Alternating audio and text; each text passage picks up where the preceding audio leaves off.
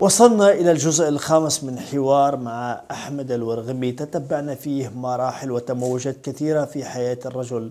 انطلقت من الانخراط في الاتجاه الإسلامي ثم الخيانات من هذا الطيف السياسي وخيانات مع المعارضة التونسية ومعركة شرسة مع بن علي ومعركة تواصلت الآن مع القانون الفرنسي هذا الذي كشر أنيابه بقانون جديد يريد تهجير الرجل استنادا على بعض الوثائق كما يقولون وانتماء سياسي كما يقولون والرجل يفند ذلك. سنكتشف مع بعضنا البعض الأسباب والمسببات والحلول الممكنة وقضية هذا الرجل الذي أصبح بين فك القانون الفرنسي و فك حركة النهضة التونسية التي تسير دواليب القضاء التونسي والمعاش التونسي اليوم حتى وإن كانت في الظاهر ليست هي من يسير ولكن الرجل يتهمها بصراحة في معاناته هنا وهناك.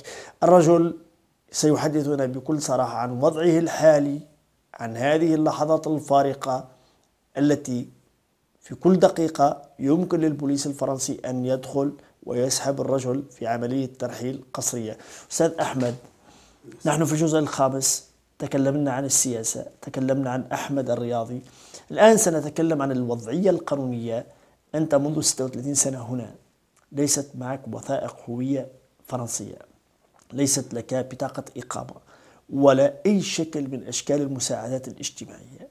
أنت الآن بحكم المحكمة والقانون مطلوب للترحيل الفوري.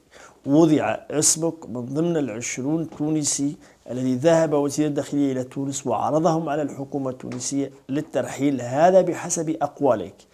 والوثائق القانونية تقول الفرنسية بأنك شاركت في عمليات دعم للحركة السلفية الجهادية وبأنك لك فكر متطرف يتعارض مع قانون الجمهورية الفرنسية ما هي الحكاية بالتفاصيل نعم.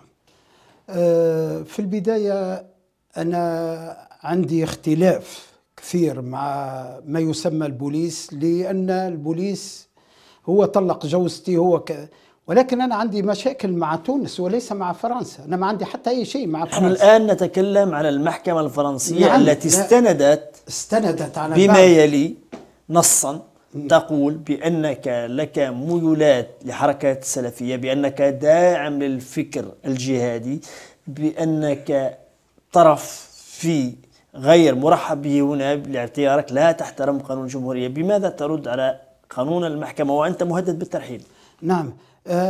إذا كان الإنسان يكون عنده آه، ميول للاتجاه يعني آه، السلفي أو الجهادي أو لماذا إنسان يعيش 24 34 سنة ما يدخلش ولا يوم واحد أو ساعة للسجن مقابل أنه وجدوا رقم تليفونه عند واحد إرهابي أو ساند إرهابيين أو عند سلفي أو صوروه أو كيف تمت دعوتك مؤخرا للمحكمة؟ لماذا؟ استنادا على ماذا؟ على صور نشرتها في صفحتي ما هذه الصور؟ الصور هذا أنا ماكرون بعد إساءته للرسول محمد ليس وحدي فيه ناس حطت في الصفحة متاعي وأنا كذلك يعني رغم محبتي للرسول دفعت بهذه الحماسة في الدفاع عن النبي محمد نعم كلفتك الآن صلى الله عليه وسلم كلفتك الآن نعم. قرار بالترحيل. وليس القرار بالترحيل بل أك كثير من الأكاذيب. أنا لم أكن أنتمي لأي طائفة جهادية ولا نعرف منهم واحد. لم أكن يعني آه في يوم ما سلفي أو أنتمي لأفكار السلفيه لا. أنا ما انتميتش للنهضة اللي هي أقل منهم خطورة. وعملاء أغلبيتهم عملاء للمخابرات الأجنبية وعملاء نتاع النفاق نتاع كل أنا ما انتمي لهم ما ولكن ولكن السلطة التونسية وحركة النهضة جزء فيها أيدت قرار المحكمة الفرنسية. هي هي ينجموا يأيدوا أي قرار اللي يحبوه. أنا أنا عشت في فرنسا نحترم قانون الجمهورية في فرنسا.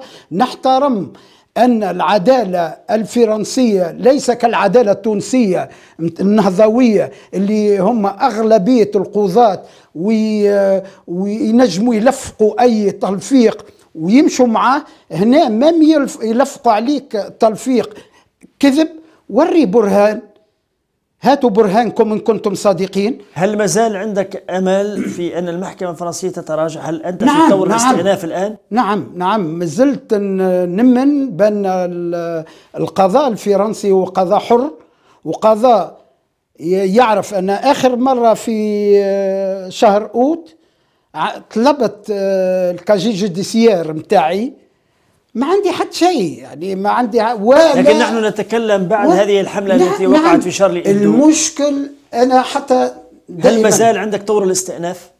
نعم إن شاء الله نتمنى ذلك ونتمنى أن آه، تنصفني ال- العدالة ال- الفرنسية لأن لا أنتمي حتى لإنسان ولا أمثل خطر في هالبلاد اللي عشت فيها أكثر من بلادي أنا هربت من تونس من اللي عمري 28 عندي 34 سنة هنا يعني هذه بلادي. وبعدين عندي بنات مولودين هنا عندهم الجنسية الفرنسية.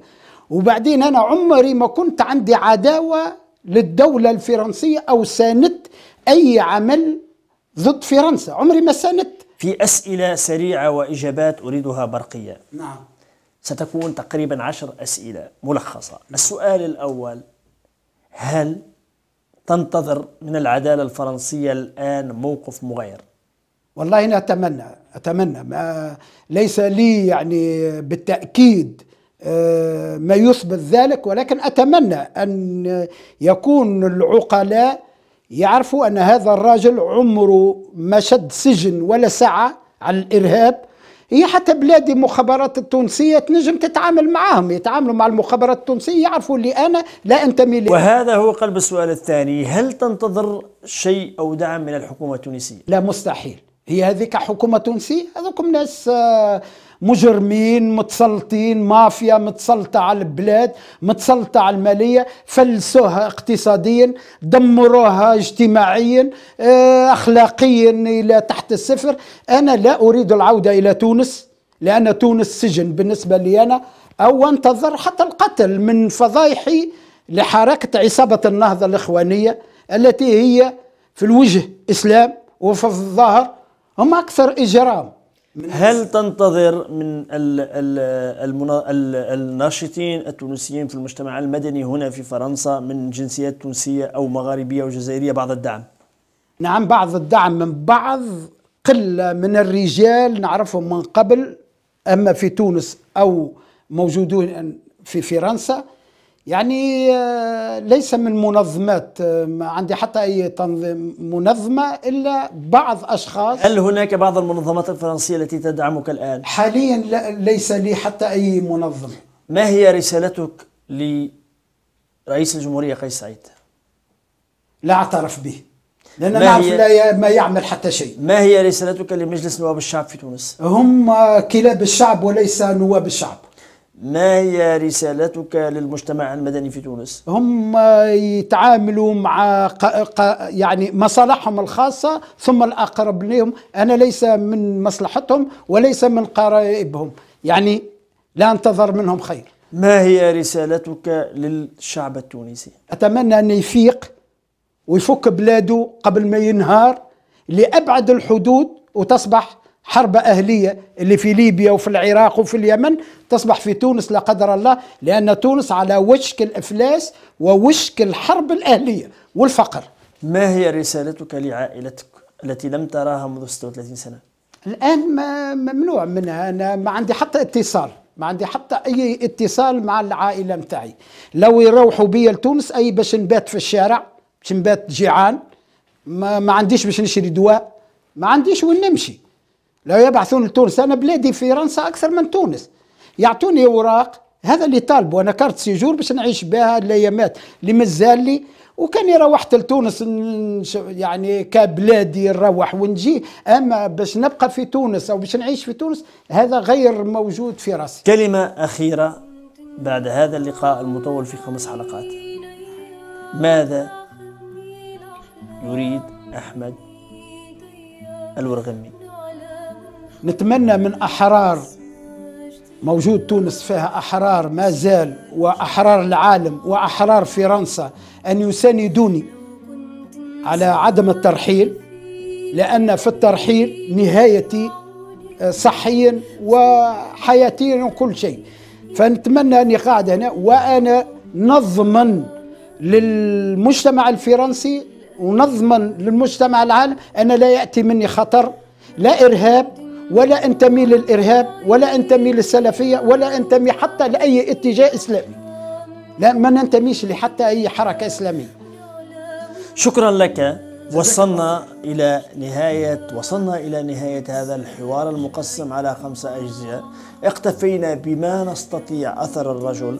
حاولنا أن نلامس الواقع والحقيقة. حاولنا أن نثير أسئلة وأن نظفر بأجوبة فيما نريد. كل الكلام الذي يقوله الأستاذ أحمد محسوب عليه وعلى ذمته نحن هدفنا أن نكتب الحقيقة بالبند العريض.